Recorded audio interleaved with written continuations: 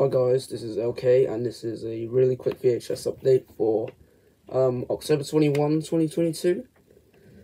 So we found one VHS in a charity shop while I was at school. The Indian in the Cupboard. Here is the tape itself.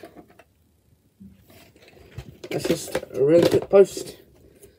I do have another video coming out at the same time as this, so you'll probably see it too. Peace out.